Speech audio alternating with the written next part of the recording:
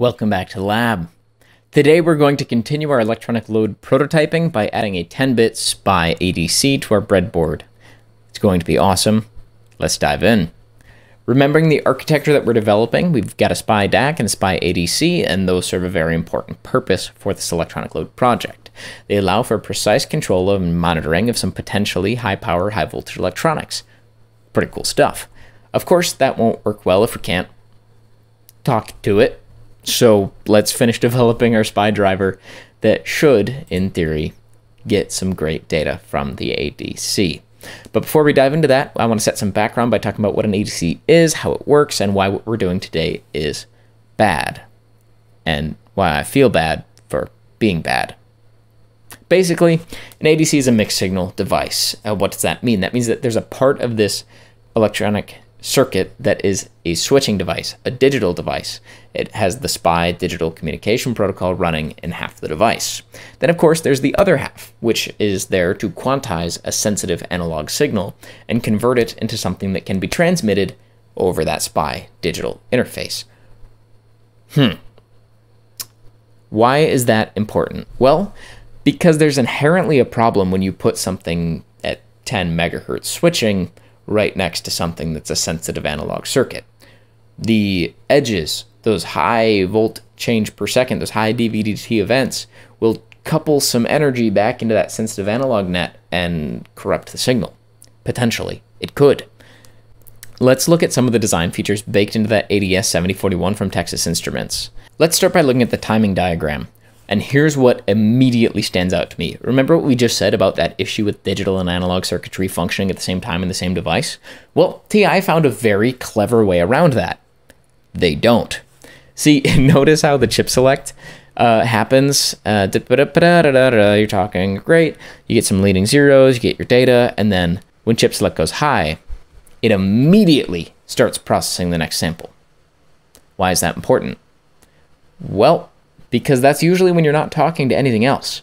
So you're doing the conversion when the SPI bus is idle. Perfect. That's exactly when you would like to be doing the conversion because then you don't have all that 10 megahertz stuff coming back around. Now, there's something else that's pretty cool about this device, and that is they describe the sample and hold architecture with the equivalent sampling resistor capacitor. Apparently, there's a 50 ohm input impedance and some uh, coupling between the positive and negative input. Looks fine to me. Looks fine to me. And this is very important because basically, when you do sample, you are connecting a capacitive load to whatever analog net is there. And you should expect to see a little dip and then a recovery of the voltage at that AN positive or negative. It's just something to keep in mind when you're working with a sample and hold ADC. So then, of course, decoupling capacitors, they serve the same function as always. They're there to stabilize your analog reference, to stabilize the inputs. Perhaps it might make sense to have some capacitance near the ADC so that when it uh, tries to sample, it can gulp that current from a local capacitor. Maybe that doesn't make sense, just something to think about.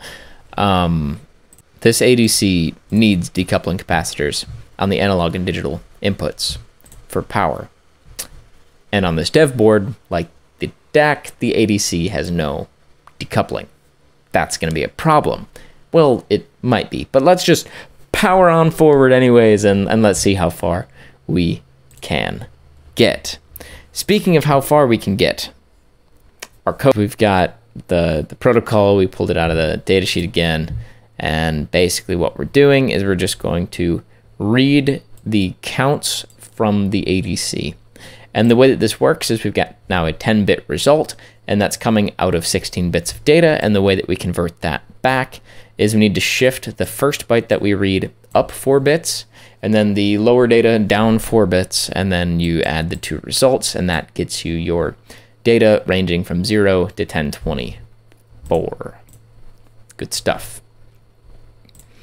And that's basically all we're doing. And I'm about to connect it to what should be approximately 3.3 volts. What do we measure? We measure 908. So we would expect that to be 2.92 volts. Yeah, 3.1. Ah, it's not great. But there is no decoupling on the analog reference. So there's that. I'd say that's close enough for what we've got going right now. Uh, the critical, critical, critical test is going to be if we take this wire and we connect it back to that AREF pin, we should see 1024 all day, every day. 1022, that's pretty darn close. And the big difference that we're seeing there, right, is even if the analog reference dips when we're sampling, even if the lack of decoupling causes it to be distorted, we would expect that it would pull it down where we're measuring as well. So they should proportionally dip and we should still see basically 1024 if our software is working correctly. That's a great spot check. But what I'm going to do is I'm going to switch the camera around a little bit. We're going to reframe this shot and I'm going to wire up the ADC to monitor the DAC with a different piece of software and see how that goes. Feels good to be pointing the camera at some tech. We've rewritten the script to function more like what I expect we will need in the future. Basically, instead of the ADC get function, I've made an ADC get millivolts function where you give it the chip select pin and the VREF voltage, and it will translate that back into volts, which is pretty great. We got the ADC sampling 10 times for every time the DAC changes. So in theory, if we use this here resistor network to shift the DAC volt if we use the resistor network to translate the 5 volt output down to 3.3 volt range, and that's 5k on the top, 10k on the bottom, dividing by 2 thirds or whatever, multiplying by 2 thirds, um, what we should see is that when we set the DAC to 255, we should measure 3.3 volts on the output. We're measuring 1.7 volts, and we're getting not even close in our measurement. Not even close. Okay. Let's just let it keep going, see what happens, see if we snap back. No, okay, so now we're getting about a 1.2 volts when we're reading 2.2. But now it seems to be going about 1 to 1. Now we're reading 2.2, 1.8. Yeah, 1.8, 1.9. We're up at 2.3 volts. Interesting. I wonder if a part of this is because of the VREF, and if another part of the error is coming from the fact that we're basically measuring from a really high impedance net. Look at that, we're getting up 2.7 volts. Hey, no, we're at 2.7 volts. That is super accurate right now. Measuring around 3 volts, we're at 2.8. Yeah, Okay, so it seems fairly accurate up at the high end of the output voltage. And then we switch back around to zero volts and we're getting very close to zero volts. Right now we're measuring 190 on the output. We're getting 200 at the DMM. 500 at the DMM, 400 at the ADC. Nope, sorry, probe got loose. Yeah. So there's that weird intermediate range where we seem to go out to lunch. I'll need to think about that. Need to dig in the datasheet, figure that out. That, uh, it's a little concerning, but we checked it at high voltages and it was fine. Checked it at low voltages and it was fine.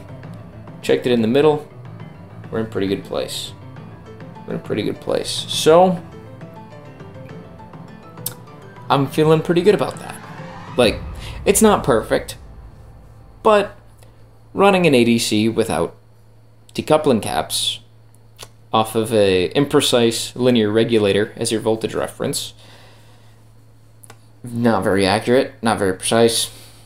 I think that's fine.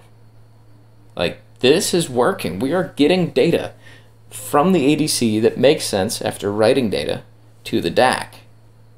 Well, I think that's just as good a place to stop off as any. And if you like this video, can't wait for more, let me know by getting subscribed, hitting that like button, and leaving a comment down below. Coming up soon, we'll be prototyping the user interface in the UART control mode, and I can't wait. So if you want to support the channel, consider checking out our Patreon page linked in the description. It really helps out a lot, so thank you. Yes, thank you to everyone who has decided to become a member. You're a big part of keeping this all possible. Most of all, I hope that you learned something great today, and I hope to see you again soon. So thanks for watching E for everyone, and thank you for staying till the end. Bye.